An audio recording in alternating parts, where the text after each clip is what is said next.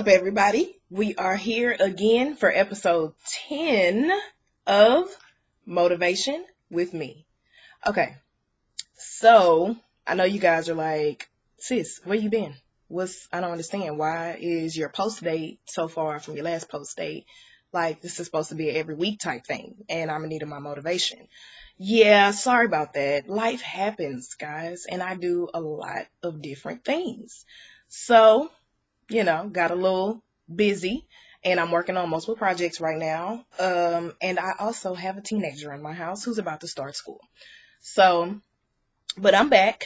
Um, and I will say going forward, you know, videos, my videos might not come out every week. They might, they might not. They kind of just come when I feel God's presence, when I'm at a mindset where I can deliver good information um, and right now we're in the child sex abuse series, which is really hard for me. Um, so I had to kind of take it slow with this one and I'm blogging because it's easier for me to write. And I'm blogging and then I'm following up with a video. So, sorry, that was itching. But, um, I'm following up with a video on the series. So the last blog was the third one, Releasing the Silence. And I say this often. So if you've been following me for a while, you hear me say often, stop the violence, release the silence, or share your story, turn your pain into purpose. You know, just speak your testimony. You'll hear me break free, all that. Like, you know that these are things that I say all the time. So I wrote and wanted to talk about releasing the silence. Now, this is, excuse my neighbors if you hear them, they are very rude. And you know, it's Sunday, so everybody wants to go in and out of the loud door. But anyway, um, I digress. So releasing the silence when it comes to that it's not just child sex abuse it's really anything that you've experienced that's traumatic or even if it's not traumatic or just sharing your story in some type of capacity or something that you're holding in the inside holding on to and it's about releasing that and whether it's verbal, whether it's written, whether it's in a song, whether it's drawing, whether it's dancing, there's so many ways to release it. Um, but I speak personally on verbal. Well, verbal and writing, because I do both.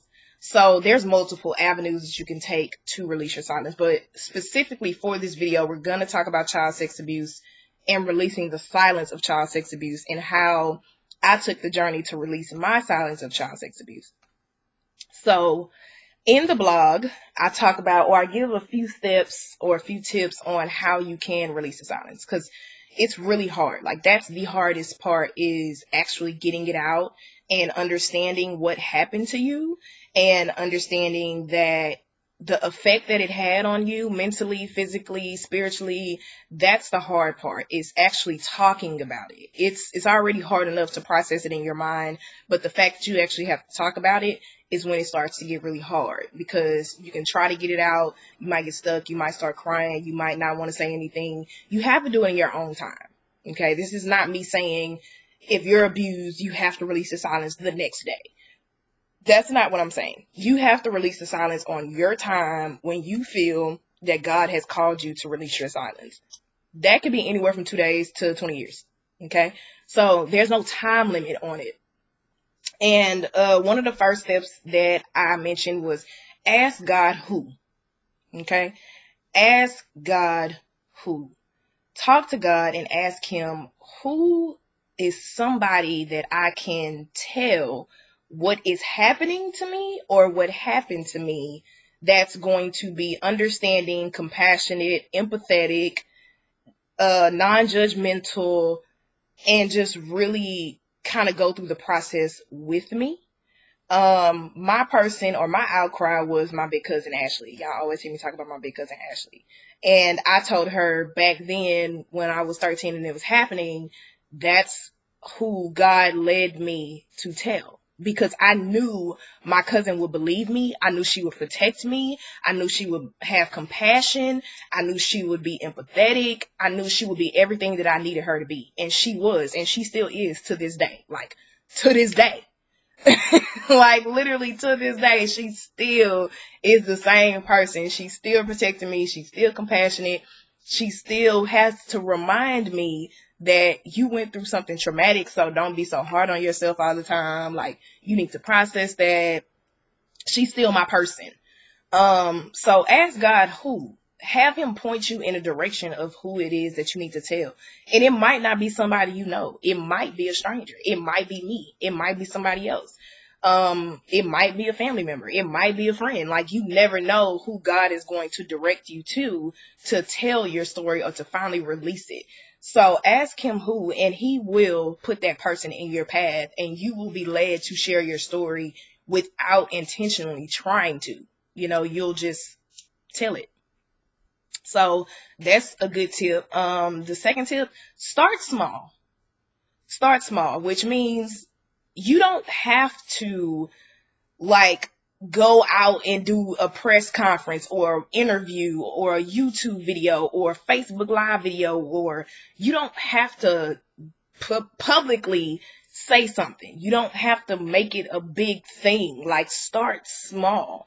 Start releasing your story in a small capacity, group therapy or a few friends or a group of friends or a sister circle or a Facebook group page because they have a lot of those now, like the support uh support group Facebook pages. Like start small because you have to start somewhere. Don't try to go out and make this big video or speak or do anything like publicly if you're not ready because you may very well be ready. Like you could be, it could be fresh and you want to talk about it. Like you feel you have enough courage and God has told you it's time to tell your story and you've dealt with it internally and mentally to where you want to share your story. You want to start a, a blog. You want to blog. You want to write a book. You want to whatever the whatever your outlet is. That's what you want to do. But I recommend that you start small because I didn't start actually talking about my sex abuse verbally until I want to say like 2015. And I was sexually abused with like what it's 14 years now. So like 10 years before that, like at 06, 05, 06. So it took me a while. Like it took me about 10 years before I could finally actually, before I, bro, my neighbors are rude. So before I could finally actually say something. So verbally, you know, I wrote the book and I talked about it and even that was hard. Even just writing out what happened while also trying to mask the person who did it it was a lot i had to step back for a while I, it was it was a, it was hard to write let alone hard to speak and i remember my mom ironically my mom asked me or yeah she asked me she was like how are you able to tell your story you know, to an audience or out loud without breaking down? Like, how are you able to do that without crying, without like you just effortlessly effortlessly tell your story. Like, you know, I was sexually abused by my stepdad when I was 12, 13. I was raped at 16. I tried to commit suicide when I was in 11th grade over a guy. I was promiscuous. I was this, I was that. Like, how do you actually just share your testimony like that without actually breaking down? And my response is God. Like God gave me courage and strength and faith and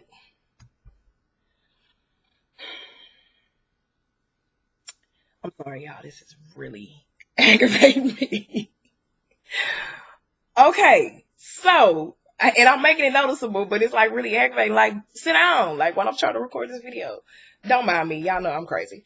So God gave me courage and strength to share my story. Like literally every night I go to bed and I thank God for the courage he gave me. I thank God for the courage he gives anybody to be able to share their story. Like that's a hard thing to do. Like it's really hard. It's like a lot out of a person to have the courage and the strength to get up and tell their story or to do a video or to write something.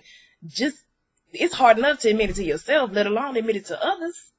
So it's it's it's God. Like I mean, everything is like literally everything is God. Everything I do in my life is God. Everything that's done in life is God. So He gave me the courage, and I did when I was ready. when he felt like I was ready, he put those opportunities in place for me to speak. He put those ideas and opportunities in my mind to be able to create a blog or to write a book. Like this is not something that I created myself.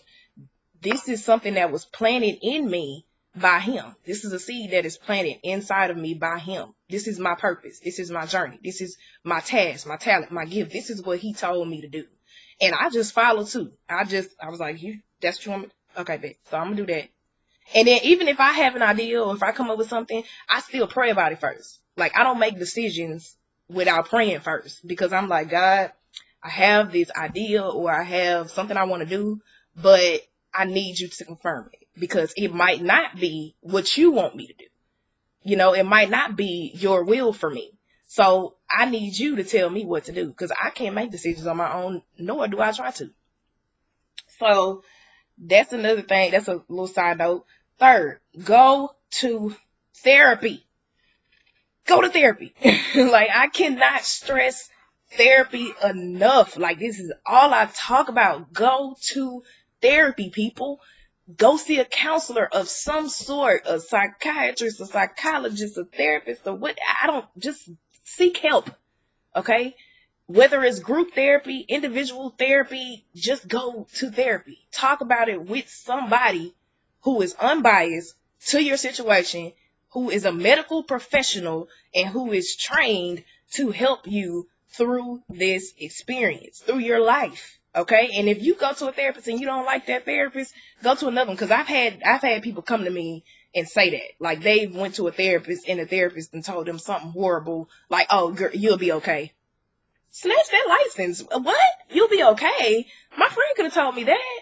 So if you go to a therapist, and I hate that because it's like they'll go to one therapist and that therapist will disappoint them so they don't want to go to therapy no more. If you go to one therapist and you don't like the way they're responding to you and it's not helping, find another one. That don't work, find another one. Keep finding one until you finally find the right one. I thank God every day for my therapist. Like I prayed for her and literally again God made the decision. Like I gave it to him. Like I literally had three therapists that I narrowed down that took my insurance back in the day and I placed my hands on the papers. And I was like, God, whichever therapist is for me, is for me. And and you will make it known. And literally two of the three didn't answer the phone. Like I tried to make an appointment, didn't answer the phone. The third one, Tony Alex, who was who I go to now, answered me right away. And helped me make my appointment because that's who God wanted me to see. That's who God knew was going to be able to help me. And to this day, two or three years later, she's still my therapist and she's still just as phenomenal as she was on day one. So pray about it. Go to therapy. If you run into a therapist that you don't like, or if you go see a therapist, a psychiatrist, psychologist that you don't like, find another one. Ask for recommendations. Ask for referrals. I refer my therapist all the time. Like sometimes she she'll tell me like, so you just gonna send everybody to me? I'm like, I can't help it. Like you're so great. You're awesome. And she's an older lady. So it's like, you know, she like, hold on, like give me a minute. I have a lot of clients, but she does take referrals from her, some of her clients like me. If I send her somebody, she'll take them. She's just not taking any new clients. So go to, you know, look, research, refer, look on Facebook. Um, if you're between the ages of, I want to say nine and 21, my friend, my sister, Stephanie Davis of Hard Work Trending Counseling and Consulting is the best. I recommend her to everybody. Go to her. Like, tell her I sent you. She's another good one. Um, Camilla Thomas, like, there's therapists out there. Aliza Bokeem, like, Melanin and Mental Health has a whole website dedicated to therapists where they have their different therapists, what their specialty is, all kinds of things. So there's resources out there. You just have to be able to find them and willing to find them. Um, now, the fourth one. I'm gonna take a deep breath on this. File a police report. Okay that one was that one is the most complicated, gut wrenching step. Okay. It's hard. It's really, really hard to go to the police, especially in the climate that we're in right now. And if you're a child, then your parent or guardian or some adult has to be able to go to the police on your behalf. So we all know the story. My mom didn't go to the police. It was no report filed on my stepdad, nothing like that, right? And in Texas, there's no statute of limitations on continuous child sex abuse.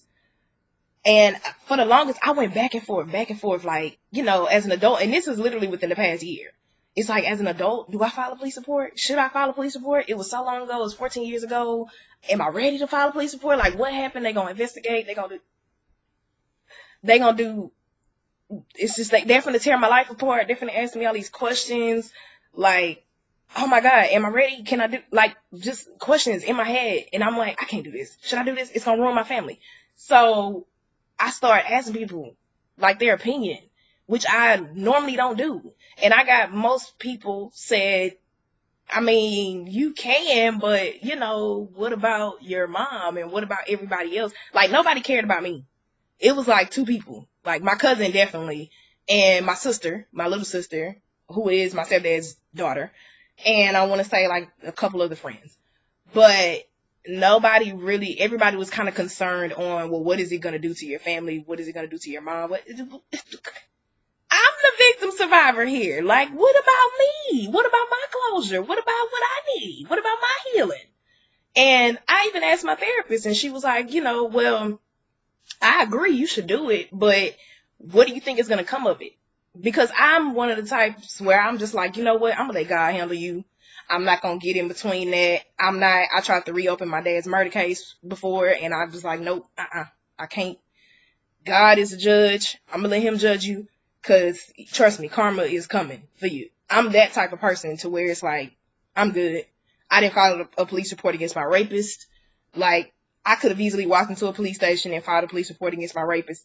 Didn't do that because it takes a lot to go to the police because you just want to forget about it. You don't want to think about it. You want to suppress it. You just want to move on in life. And a police report just digs and digs and pulls it all out of you. Sometimes you can't handle it. It's a lot.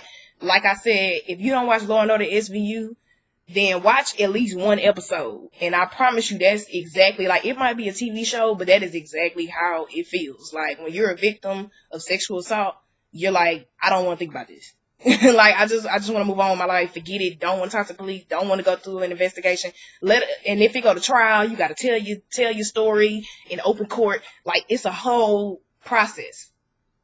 So after a year, I finally made the decision to go to the police. After after a year of debating it, 14 years later, I decided to go to the police and file a police report.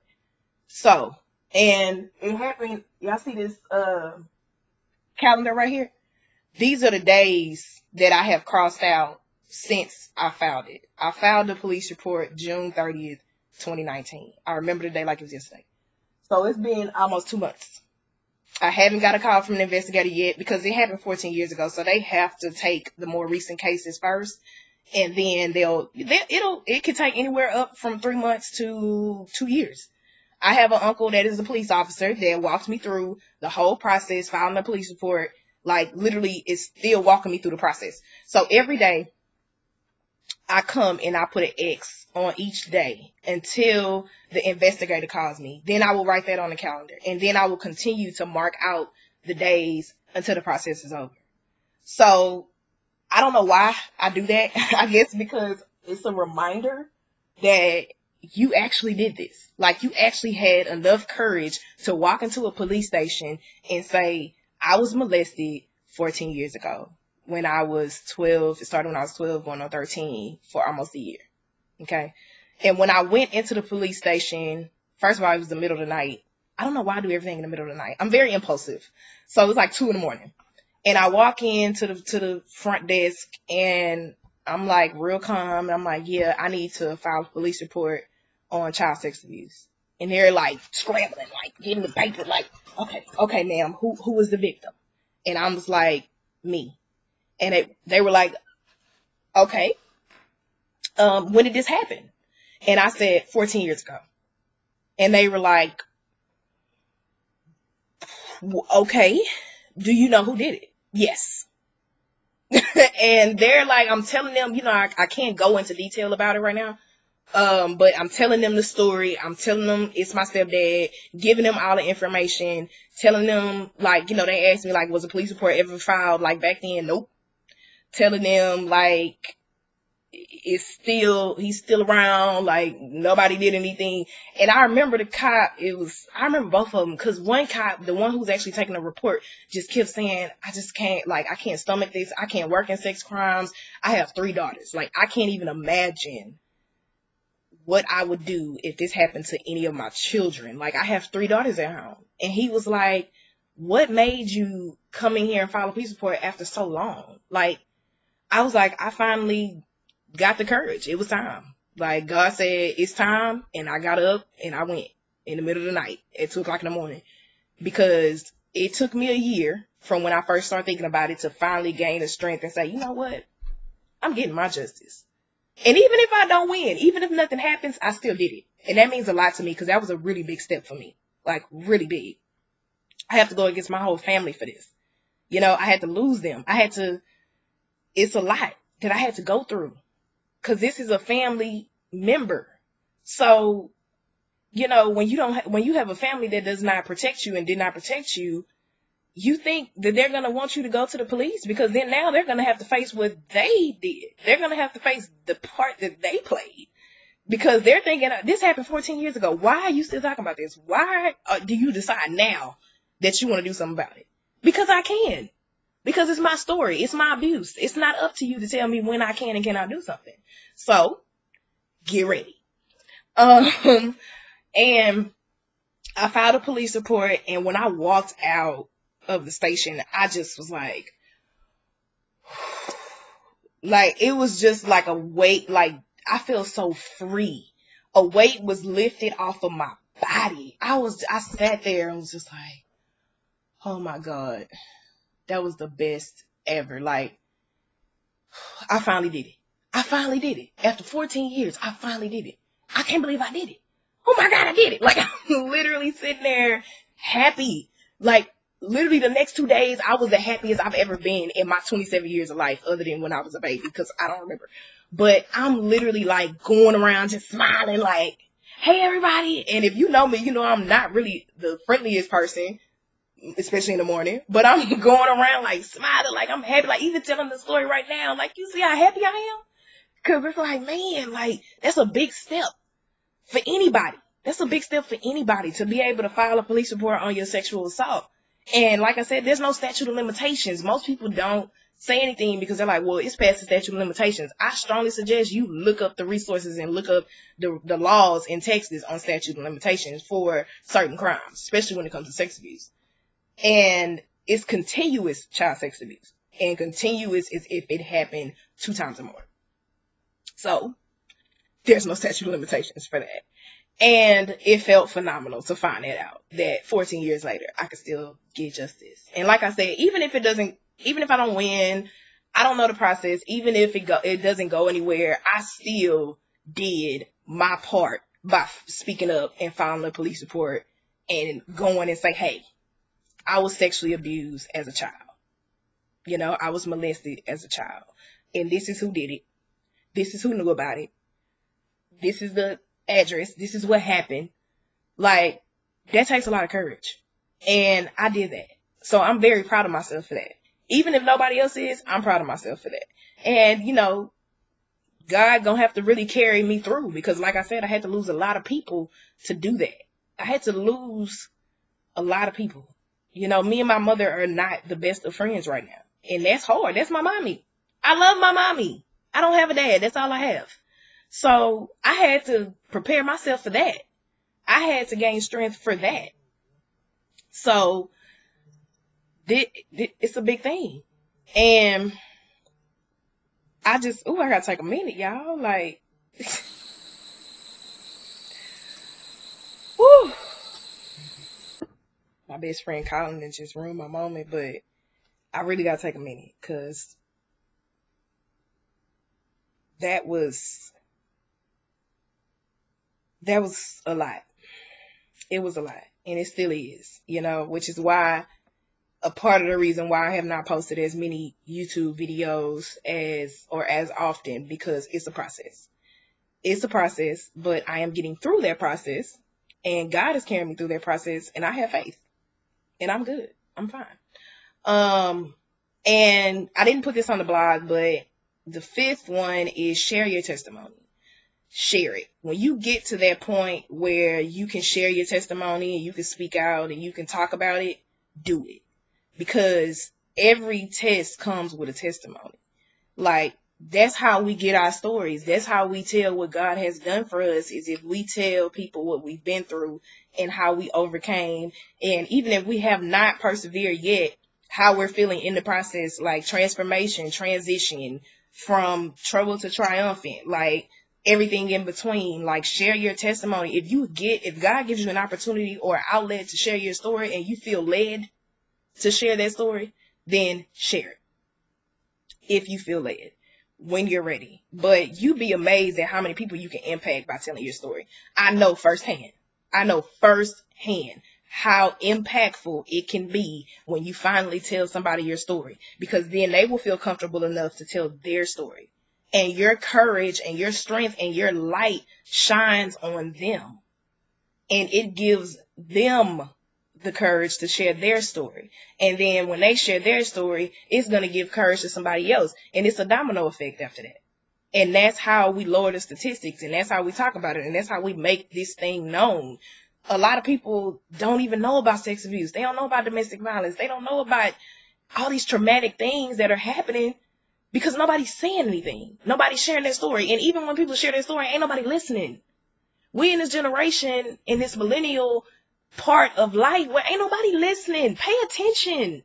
Learn something. Open your eyes. Everything is not trap and women crush Wednesday and man crush Monday. I don't know what to say because I am not a social media person. And these millennials are not focused. Like they, they not paying attention. And even older people, like a lot of us are not paying attention.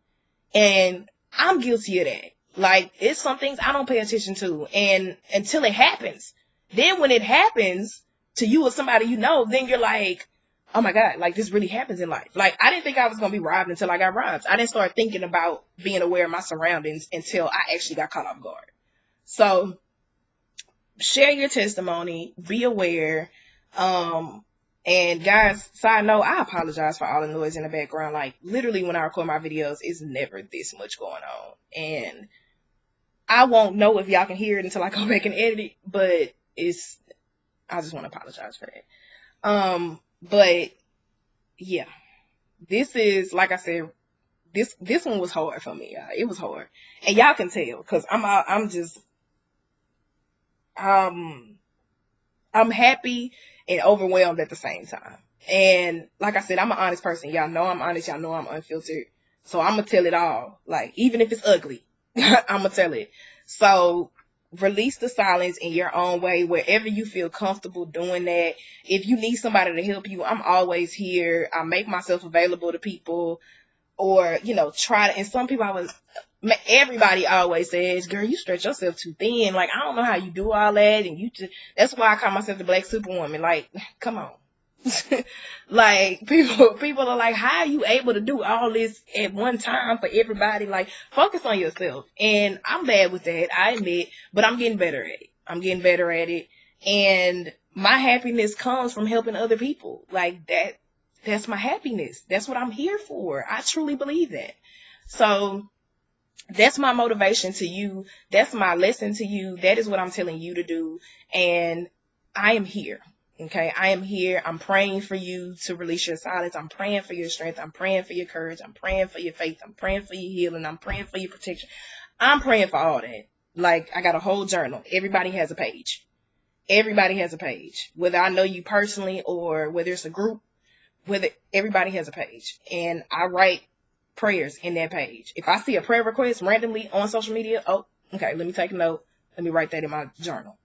So, you know, when people, when I say I'm praying for you, I'm serious about it. And when you feel that Holy Spirit, they're, coming up on you, that's because people are praying for you. And you will feel it and you will know when it's your time to release your silence. So that is a wrap for me. Oh, before I go, um, I want to give a couple guided journals for people who aren't ready to verbally release their silence, but they want to write about it or talk about it other than having a journal. You know, it helps to kind of have a guided journal to give you a prompt or kind of stabilize you and just start off small. I know I've talked about this one before. I think I have. God is my happy place. This is like literally one, probably my favorite one. Um, choose your own journey. And this is, um, they have like six different topics and you can write throughout the topic. Like you pick which topic you want to write about and it'll tell you what page to go to and you answer the question. Um, Craft the Life You Love. I've talked about this one before. This is another good book or another good guided journal, more so a book with reflections. Um, 300 writing prompts. You get it from Five Below five dollars. Pretty sure y'all seen that somewhere. And then I have another one, 400 writing prompts, because all I do is write.